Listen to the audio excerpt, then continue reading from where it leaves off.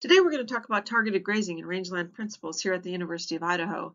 Targeted grazing really has been occurring since livestock were domesticated centuries ago.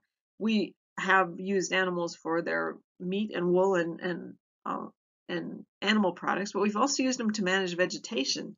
So that idea of using animals to manage vegetation and improve landscapes is called targeted grazing. So I'm Karen Launchbaugh at the University of Idaho. Today we're going to talk about targeted grazing. So as I mentioned, livestock have been produced for 10,000 years or so to produce products like meat and wool and hide uh, to be used for human by humans. Recently, however, in the last decade or so, we started thinking a lot more about using livestock to manage plant communities. I think this came about because we started learning since about the 80s and 90s, we learned the principles of animal behavior, and now we can take those principles and we can apply them in really specific settings to manage plant communities. That was the birth of targeted grazing. So targeted grazing, it's not your run-of-the-mill, everyday, garden variety kind of grazing. It's the application of a specific kind of livestock at a determined season, duration, and intensity to accomplish a well-defined vegetation or landscape goal. So it's really just turning down the small dials that really make grazing effective and targeted on a specific goal to accomplish in a landscape. What's cool about targeted grazing is that in order to do a really good job, you have to be good at two things. You have to really understand vegetation on the landscape and understand what kind of landscape you want to, to have. What's your goal? And you also have to understand a lot about grazing animals. So targeted grazing is just somewhere in between that fissure between landscape understanding and animal understanding. Okay, as I mentioned, landscape uh, goals and using livestock to manage landscapes have been used for a long time. We've used livestock to reduce weeds on crops and pasture lands and wildlands. Oh, since the the 40s, at least 1940s, we've been using livestock to control herbaceous biomass in tree crops, both pine plantations and orchards. Uh, we've used livestock to manage wildlife habitat, reduce five fire fuels, uh, to manage watershed characteristics, to do many kinds of wildland restoration practices. So it's not a terribly new idea, but what's happened in the last couple decades is we're really learning a lot more about how to use livestock to accomplish these goals in very specific and careful ways. So don't ever forget that grazing is a powerful tool. Here's a, a picture from the mountains of Montana. And what this picture shows you on the left, there was no sheep grazing. And so there's a lot of forbs, a very forb-rich community. On the right-hand side, there was sheep grazing, and the sheep focused on the forbs and were able to pretty much remove it from the ecosystem, leaving only the grass behind. I'm not actually sure why you'd want to remove all those beautiful wildflowers from the mountains, a, a tall forb kind of community. But it, it bears to stand that you could do it with sheep. Okay, here's another example. This is with goat grazing, taken by John Walker in Texas. This picture, and on the right-hand side was a pretty high density of goats, and goats were pretty effective at removing shrubs from that plant community. You can see some at the back side of that pasture, but right here at the at the front side, uh, there's there's no shrubs. On the other hand, on the left-hand side of the slide, uh, I'm sorry, on the left-hand side of that fence, where there was no goat grazing, a lot of shrubs. Uh, oak and juniper trees are common. So you want to get rid of shrubs, goats might be a tool to do that. This is an interesting slide because it was taken Yellowstone National Park and it doesn't have anything to do with livestock. There's no cows, sheep, or goats in Yellowstone National Park. On the left-hand side is an exclosure that was designed to try to increase uh, willows and aspens in the along the riparian areas, and they were protecting those aspens from elk. So on the right-hand side is elk grazing and probably bison, and uh, inside the exclosure was removal of grazing, and it allowed the willows and the aspens to flourish. So it doesn't always matter if the animal is domestic or not it, grazing and herbivory is a powerful tool. I like these titles here. They're from newspaper and magazine articles that have been published over the last couple decades, and I collect these.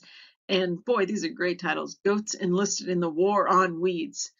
Um, weed-eating goats provide herbicide alternative. Woolly weed eaters.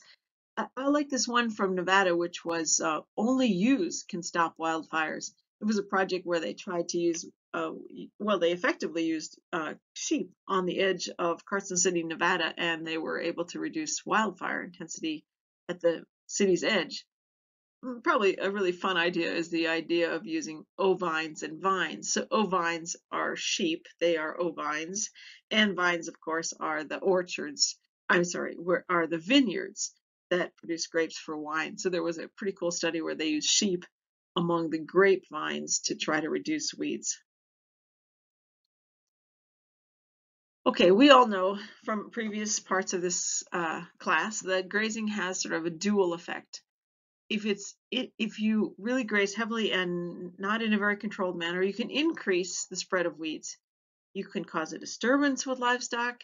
Livestock can, can transport seeds you could reduce the competition from the native plants and you could really promote the weeds. You could increase the density and uh, invasion of weeds on a site.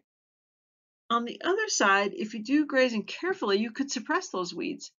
You could stress the weeds more than the desired plants. You could reduce root biomass. You could reduce seed production. And basically, you just could reduce the competitive edge of those weeds against the native plants in the community. So both of these can uh, be results of grazing. You just have to be careful.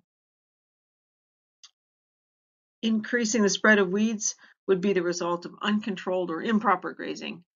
Suppressing weeds and benefiting the native plant communities or the desired plant communities would be an effect of targeted grazing in an integrated system, not just the grazing, but really including it in all of the things that that plant community needs to, you know, propel itself in and be healthy. Okay, truth be told, not all weeds are easy to control with targeted grazing. Oh, people try it. I've seen just nearly everything tried uh, to, where they use goats or sheep to try to control weeds, but they're not all easy. On the left-hand side of this chart are weeds that are relatively easy to control. Things like cheatgrass, kudzu, leafy spurge, and even star thistle can be uh, managed and controlled quite easily with the right animal. Knapweed's a little more difficult, but it can also, there's some good studies that show that sheep and others can control knapweed. Some plants that are much more difficult are juniper, depends on the species. Western juniper that we have out here in Oregon and, and Idaho and Nevada is very difficult to control. Uh, blueberry juniper in Texas, not so much. It's actually can be controlled fairly effectively with goats and sheep. One on the way far, uh, far side is something like salt cedar uh, just really difficult to control, difficult to get animals to eat, and difficult to control with targeted grazing. So targeted grazing spans that whole range from easy to difficult. Let's take a few of these and dig in a little bit deeper. When we start thinking about targeted grazing, it really is an innovation in grazing. It's a really new way to really focus on how do we change the season, the species, or even individual of animal that we use to manage vegetation. I mentioned season because season really does matter. Season is very important. This study, this uh, is just a fence line contrast of one of the earliest grazing studies done in North America. It was at the U.S. Sheep Experiment Station, and it was a simple study. On the left-hand side, they had a pasture where they grazed every spring. Every spring, they'd, they'd put the sheep out on this pasture and then they would not come back in the fall. On the right-hand side is a pasture where those sheep came back every fall and did not graze in the spring. And what you can see is the pasture that was spring grazed had very few forbs because sheep like forbs. So they had it had very few forbs in it. On the right-hand side, the fall grazed pasture, by the time the sheep came back in the fall, those plants were dormant. So the sheep grazed through that pasture and they did not affect the forbs. So the fall grazed pasture in the spring when this picture was taken were beautiful. Things like taper tip hawksbeard and balsamorhiza had those beautiful yellow flowers. What you can't see here is the data also showed that on the left-hand side, there's more shrubs than on the right-hand side because sheep tend to eat more shrubs in the fall. So fall grazing is one where the sheep would come and they would eat some of those shrubs and reduce their abundance on the ecosystem. It was a really long-term, interesting study that shows how much season matters. So when you're doing targeted grazing, it's important to, to select the right season. Species also matters. Uh, cows eat grass, sheep eat a variety of forbs, shrubs, and grass, and goats really prefer shrubs. So depending on what species you're trying to control, it really makes sense to start with the species that likes that plant. Now animals have a lot of um, uh, plasticity and so you can really increase the amount of say shrubs that cows would eat or grass that goats might eat, but it's good to start with that natural propensity that animals have because of their digestive system. A last kind of step that we use in targeted grazing to um, really get animals to focus in on the plants that we're trying to reduce is to select the right animals, train them, especially with early life experience, and then entice them to eat the plants that we're trying to get rid of. So that's the animal behavior part of this equation. Here's a study that I conducted with a graduate student uh, in uh, northern Idaho. Uh, you can see that the plant we were trying to control was yellow star thistle. And the picture there is from Google Earth, and I think it's really cool that you can look at your study and see it from Google Earth. But what you can see there is a lot of fairly small paddocks that were that we created to try to control uh, the species and season that we grazed. This was a fairly uh, gentle uh, sloping bench uh, above uh, this the Clearwater basin, and it was abundant with yellow star thistle, but it also had quite a few perennial grasses in the site. So our goal was to consider the species and season of grazing. So we were looking at the plant response to grazing of cattle, sheep, or none, and then we looked at three phenological stages uh, either in the bolting, I'm sorry, either in the ros rosette or in the bolting or in the flowering stage.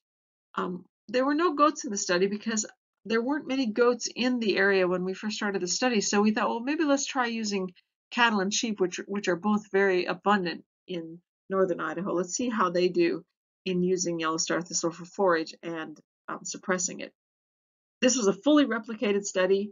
We had four replications of all of our treatments, which meant that we had 27 little paddocks that were 80 by 80 feet. So sometimes I think about the study and think it was probably just a test in fencing as much as a test of cattle and sheep. But we won. The fences held up and we were able to do the study. Here's what we found.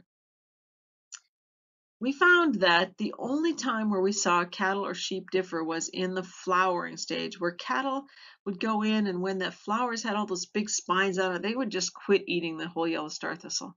Sheep had a little different response on the right-hand side under the flowering uh, uh, mark. What you can see is that sheep um, did decrease the yellow star thistle a little bit, and it's because they stripped all the leaves off of it. They ate the leaves off the plant while it was flowering. Okay, but look at closely at this map. If you were going to try to control yellow star thistle um, with grazing, what would you do? Actually, the control on the left-hand side, that red bar, that had less yellow star thistle than any of the treatments we applied. So unfortunately, there was a grazing versus no grazing effect. And what it told us was that not grazing, you would have less yellow star thistle than if you grazed it. What was happening was when we grazed it, especially if we grazed it in the rosette stage, that the plant would um, stimulate secondary buds and that would create even more stems. So if we grazed it, it would create more stems and there would be higher density of plants and a higher density of seed heads. So that was pretty discouraging. Spent a lot of energy and time into finding out that if you wanted to get rid of yellow star thistle, the minimum you could do would keep it at bay, but we didn't see any evidence that you could use grazing to decrease yellow star thistle. So um, that made us go back and start thinking about what which animals did we use? We knew that cattle are, cattle are mostly roughage eaters and they tended to avoid the yellow star thistle. Sheep were intermediate and they did eat some of those forbs, especially I mentioned that they stripped the leaves off the forbs. And goats are pretty interesting. They eat browse, but they'll also be, they're very nimble at eating forbs and such. So this got us thinking about whether we had used the right herbivore. And we'll tell more about that story in a minute.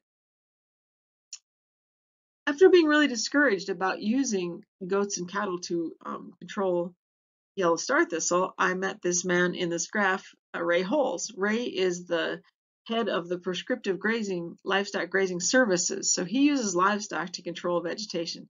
And he said, Karen, oh, we should try. We should use goats. They're really effective. And I was so um, reluctant because I had had no I had no success with using targeted grazing against yellow star thistle. But we decided to give it a try in some really rough country, and we brought in the goats in the middle of the chart here. They're Boer goats, and you can see they're kind of nibbling away at the yellow star thistle. Um, you see some couple of my graduate students that were involved in the project. Brianna Goering is a, is the main student who worked on this project, and what you can see from this chart is it was really steep country. So we didn't have many options for uh, controlling yellow star thistle, except for goats or animals that could really use steep country. So what did we find? Well, first of all, we laid out 24 plots. Each plot was a paired plot where we put an area that was fenced, so it was no grazing inside, and it, right outside of it was an area that was grazed. And again, we had 24, and if you know anything about topo maps, you can see this map and you can see that the country was really steep. So it was a very large, thousand acre or more site, and it was really steep country. It was in near Bent's Ridge. It was on Bent's Ridge near Whitebird Creek in Idaho. And we did the grazing um, in the fall of several years. And here's what we found. We found that when you looked at ungrazed areas versus grazed area, here is a matched picture. On the left is the yellow star thistle inside of the exclosure where, where goats did not have access to it. On the right hand side is a picture where goats did eat the yellow star thistle.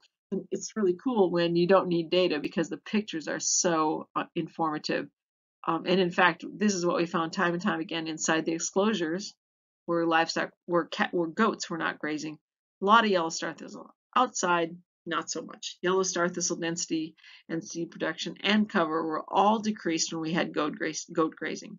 Forbs stay about the same and grass cover increased. So here's what the data look like. If we look at the seed heads or the plants of yellow star thistle, there were far more in the ungrazed area inside the exclosures than in the grazed area outside the exclosures. If we look mostly at cover, just how much uh, of the area was covered by plants, there still wasn't a, a, significant effect, a significant decrease in yellow star thistle cover in the grazed areas compared to the ungrazed areas. What's interesting is the grazed areas had more grass than the ungrazed areas. So when goats were coming through, they were being very selective of the yellow star thistle and they were increasing the amount of grass. Forbs, on the other hand, really didn't show much of a difference one way or the other. So the goats were really focusing on yellow star thistle releasing the grass. Uh, so in this case, the yellow uh, goats were a very effective method to control yellow star thistle, and it has been used significantly in Idaho, Washington, and California. So goats are now recognized as a pretty effective tool for yellow star thistle control. Here's another interesting example. Um, for anyone that's traveled in the southeast, you might have seen this plant, kudzu. This is kudzu, this big old leafy plant. On the left-hand side, a colleague of mine, uh, Jean-Marie Luginbuehl, um, he was studying whether goats liked uh, this kudzu or not. And on the left-hand side, before grazing, solid stand of kudzu. Can't even see much grass in there.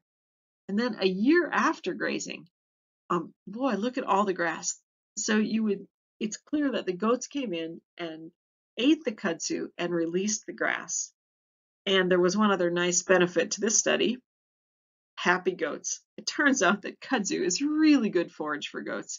And Jean-Marie said that it, that the goats would just come in and they would just annihilate the the um, kudzu. They just really liked it. It was really a healthy forage for them. They grew well. So in this case, it was really fairly easy match match, where goats ate the target weed and they released the grass so that it was useful for other animals like cattle a quick example of yellow, of, I'm sorry, of leafy spurge is a plant that we deal with throughout the plains and throughout the Intermountain West. And uh, it's really widespread. Goats and sheep both have been successfully used to um, control yellow, uh, leafy spurge. Um, it's considered a pretty good forage for sheep.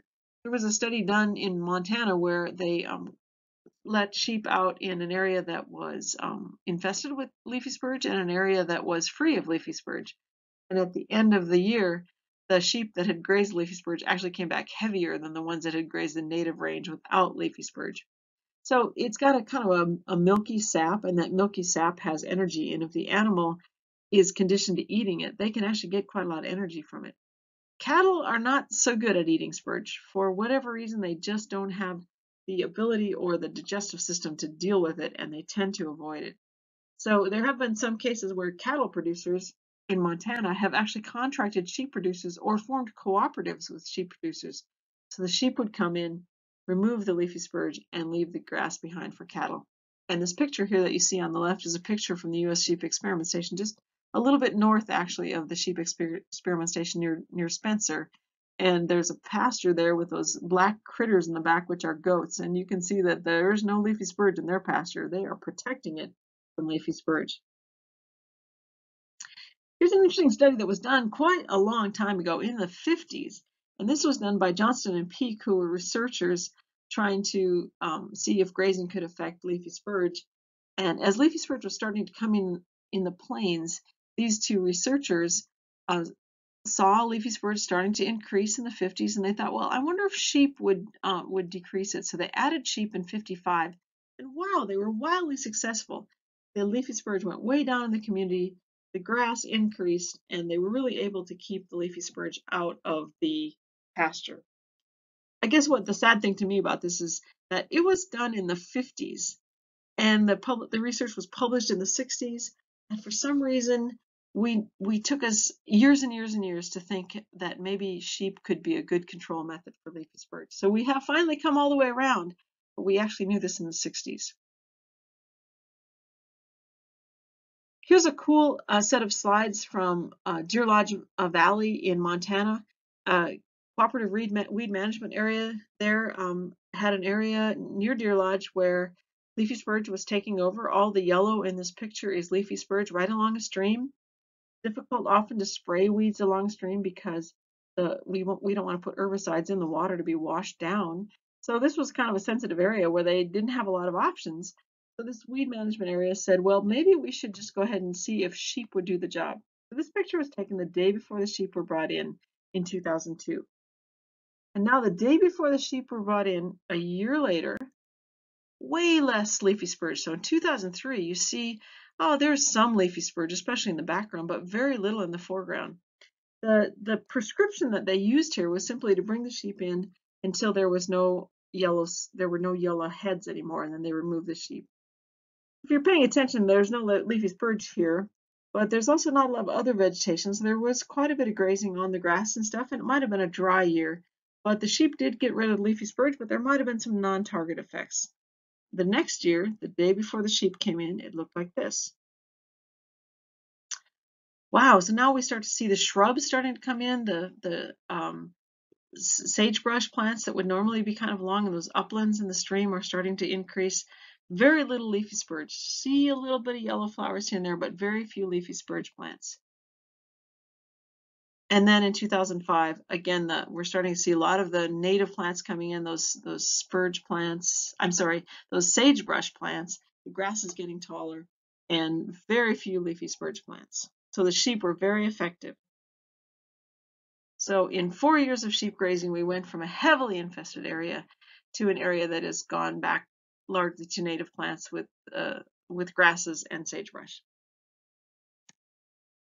A similar study was was done using goats in the Weiser River corridor in Idaho, and this was uh, work, that was done done in cooperation with the BLM. And you can see on the left-hand side, one of the problems with leafy, I'm sorry, yeah, one of the problems with leafy spurge is that it has these old stems that build up over time, so it really becomes kind of impenetrable. And in 2003, they brought some goats in and they grazed up and down this Weiser River corridor. And by 2008, you can see a radical reduction in the leafy spurge. You can also see an increase in bunches of grasses along that the stream bunch. That's probably Great Basin wild rye. There's still leafy spurge there, but it's really gotten down to a level where there's not a lot of the that big stemmy overstory and really has done a good job of in you know controlling that community. I'm going to talk a little bit about cheatgrass or downy brome because it's certainly a big challenge in managing ecosystems in Idaho and the Intermountain West. Um, cheatgrass, believe it or not, is quite nutritious when it's young. Everyone always thinks of it as a terrible weed, but it's when it's young, it's really an important forage for wildlife and livestock because it grow, greens up very early in the spring. It's grazed readily by cattle and sheep. The key is that you have to remove cattle before the perennial grasses start to grow. Uh, otherwise, the, there will be a lot of pressure on those grasses and the cheatgrass will win out. So it's a lot about timing. Let's talk a little more about the timing. One of the earlier studies done on using grazing to control uh, cheatgrass was done in 2004 by Jay Davison of uh, Nevada. His study actually was designed to look at whether we could use sheep to um, to control cheatgrass, but also do some restoration. And in the study from 2000 to 2003, he had uh, uh, studies that were had sheep grazing and then studies without areas without sheep.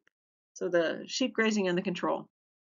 2000, there was um, more cheatgrass in the control than the grazed area. 2001, again, almost no cheatgrass in the in the grazed area, but quite a lot in the control. 2002, again, a lot more cheatgrass in the control where it wasn't grazed.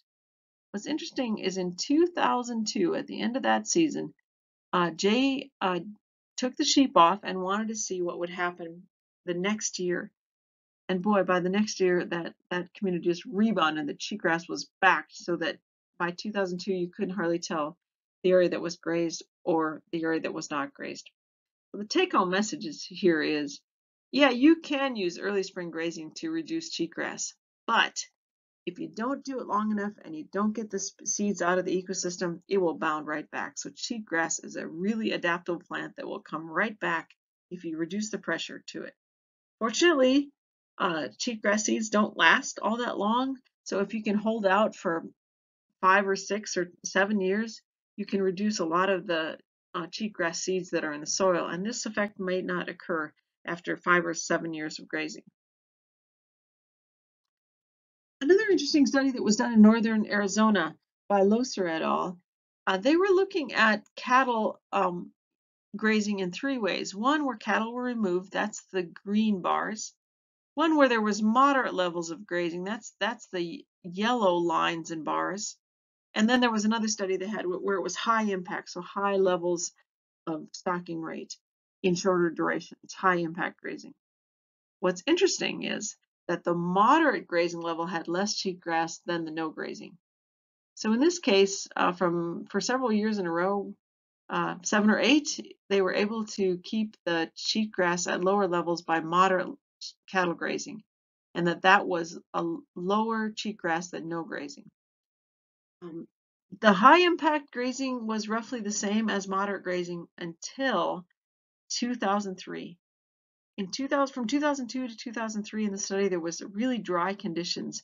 And what happened was but with that really heavy grazing that high impact grazing they managed to do enough damage to the native plant communities that it really released the cheatgrass. So what we found was a pretty big increase in cheatgrass towards the end of the study. So high impact grazing created a great increase in cheatgrass after a drought year. So again targeted grazing can be very effective but you got to be pretty careful because if you do it wrong, you can really um, make the situation worse. So those are a couple of snippets of information. Uh, if I were to put together everything that I've read and try to think about how we might use grazing for cheatgrass, here's kind of my four-part stage. If you don't do any grazing at all, it's likely that cheatgrass will increase. We have quite a few examples where areas that have never been grazed uh, kipukas that have lava all around them or high plateaus that have never been grazed, they have a lot of cheatgrass and it increases in those sites because they are the type of climate that cheatgrass is, is, um, is able to invade in. So no grazing doesn't necessarily mean no cheatgrass. No grazing just means that cheatgrass will come in and start to use that ecosystem because it's adapted to it. Early spring grazing, like the work that uh, Dr. Davison did, uh, really related to a suppressed suppression of cheatgrass. So that early, right, as soon as things start to green up, grazing at that time tends to be focused on cheatgrass and it allows the perennial grasses to um, be expressed. You wait too long, however, if you get just a little bit further into the season and you continue grazing, it's really likely that cheatgrass will increase. And that's because livestock will focus more on the perennial grasses and they'll shift the balance um, back to the perennial grasses and the cheatgrass will have an advantage then.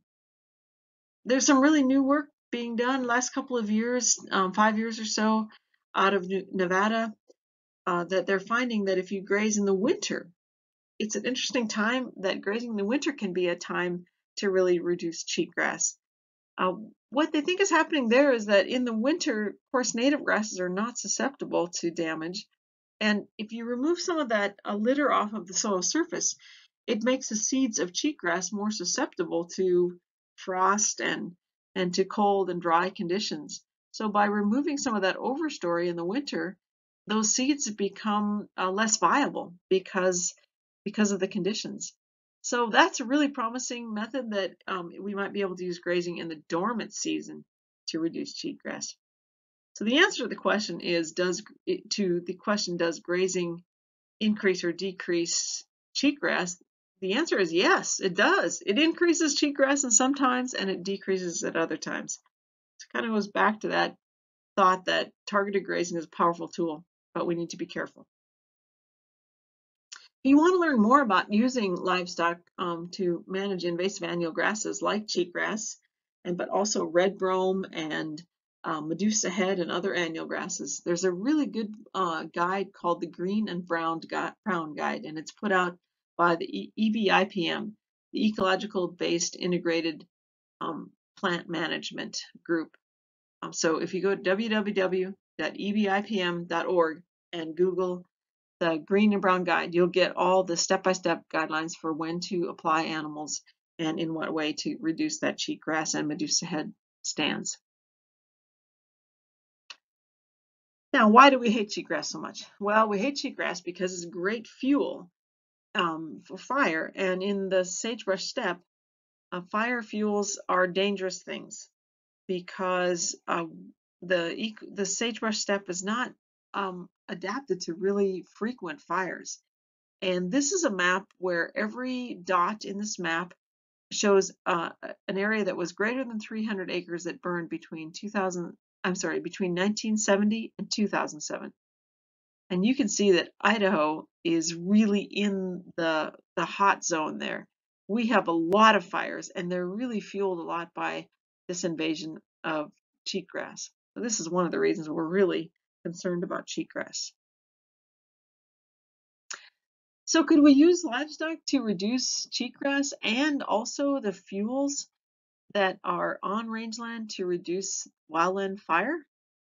Well, yeah, we sure can. We've it's been done for generations, and we know just from fence line contrasts like the ones that are in this picture, where a fire moves along and it comes to a fence and it stops because on the left-hand side the area was not grazed and on the right-hand side it was.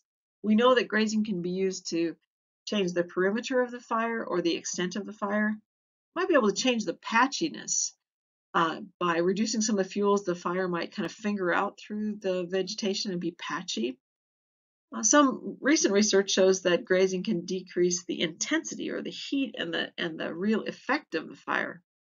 Furthermore, grazing could affect the flame length and the rate of spread.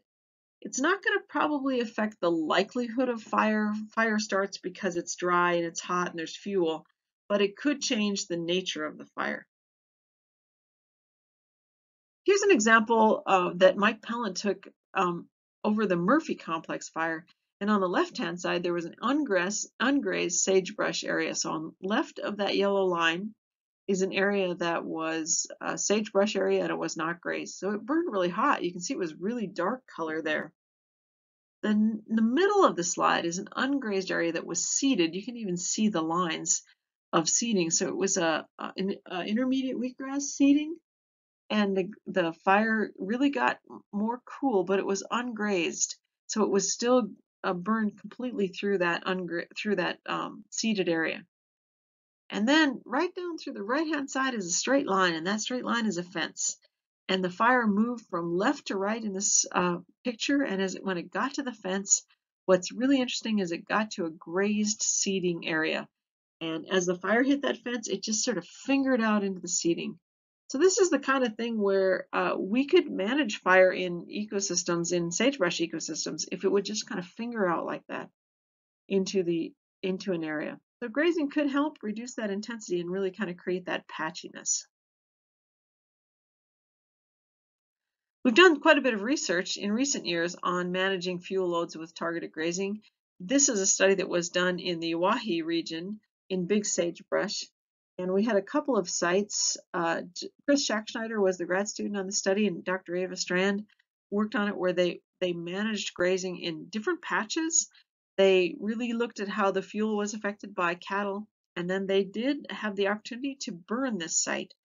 Uh, this was uh, burned at the same time, about at the same time as a soda fire. So we had a lot of BLM people that helped us to manage this fire, but we were able to burn these sites. And here's what we found. If you just look at flame length, for example, um, what, what was really interesting about the study was flame length was reduced. This blue and the orange line are lower than the control or the no grazing. So the low utilization and the moderate utilization had lower flame lengths until about 20% shrubs happened in the community. And when you hit about 20% shrubs in the community, uh, then the, the fire is driven by shrub density and shrub cover, not by herbaceous biomass.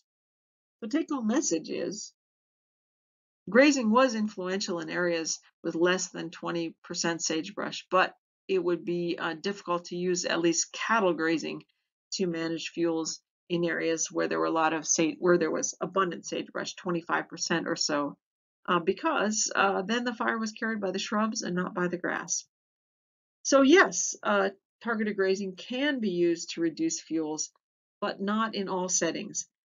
Reducing uh, flame length is very important because uh, when a flame length is tall, the, the firefighters cannot use direct attack on the fire. So keeping flame length down to a safe level where the fire attack the fire um, crew can attack the fire and, and keep it in a perimeter is very important. So reducing flame length is a potential outcome of targeted grazing, and it's important for fighting fires. So targeted grazing can be, I hope I've given you some good examples of how it can be very effective. The one take-home message that you should have from this is that it really depends on skill and knowledge. I've given you several examples where if it's done right, it's done easily and really well, it can be very effective. On the other hand, if you overdo it, don't get the timing right, you can actually make the situation worse with, worse with grazing. So it depends on the skill and knowledge of the targeted grazer. So I've talked a lot about the benefits of targeted grazing. It can be highly effective. You can improve pasture quality. It's considered a really environmentally friendly alternative because there's no pest there's no pesticide residue. It has some effects on non-target species, but not as much as herbicides. And another cool thing is that you can convert those weeds in the ecosystem into something that you can sell at the market. Um, when you do herbicide control, you don't have anything to sell at the end of the year except the forage. But with targeted grazing, you can actually take those animals to the market, and that helps to sustain the grazing practice. It's considered a more sustainable control. It's feasible in really rough terrain. So those are some of the benefits of targeted grazing. But there's some real downside and there's some real costs targeted grazing. Um, you know, people who are doing targeted grazing say that um, they often get calls and say, hey, I have some weeds. Why don't your sheep come eat them? They're good forage. Well, that's easier said than done. Targeted grazing costs money, it costs energy, it costs the animals, and there's often potential losses because animals are um, eating lower quality food and they're subject to, herb, to uh, predators there's fencing, there's water, there's herders, there's trailers that need to be paid for. Sometimes the weeds are very nutritious and animals will do well on them. Other times animals are used in specific ways and they actually are not as fat when they come off the weeds as if they had not been eating the weeds. So when we're trying to use livestock to control low quality plants, there may be reduced animal production. The, probably the biggest downside to targeted grazing is you just can't, you have to be there 24 7 375 you can't hang the sheep in the barn when you're done with them. They're there and they need to eat every day. So one of the real challenges with targeted grazing is is finding something that those sheep can do every day of the year a place that the sheep or the goats or the cattle can graze every year. So uh, producers that do this uh, contractors uh, are getting better and better at this but it is an everyday job that is quite a challenge uh, don't forget that targeted grazing is one of the many tools that we use, and targeted grazing could be integrated with chemicals, mechanical herbicide or mechanical control method, methods, and even our biocontrol. And we're just starting to learn about how livestock could be used uh, to reduce the amount of chemicals we need, for example. Or they might be used to promote biocontrol by reducing some of the plants in the ecosystem. The biocontrol agents may really be able to start to have an effect. We might also be able to use goats and sheep or cattle to extend the life of a mechanical herbicide. I'm sorry, a mechanical treatment. So it's all an integrated system and sheep and goats and cattle in targeted grazing setting might be effective, but they might be more effective if you think of integrating with other techniques. If you want to know more about targeted grazing, we have a website, we being the Society for Range Management Targeted Grazing Committee, maintain a website at targetedgrazing.wordpress.com.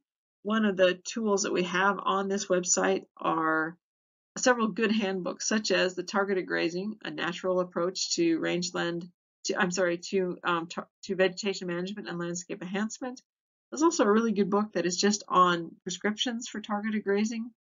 We also have webinars of videos that we've um, worked on to help people understand the principles of targeted grazing. So I hope this gave you just a snippet of a few ideas of how we can use targeted grazing. Uh, it's still in its infancy, but I think it shows a lot of promise for vegetation management on landscapes.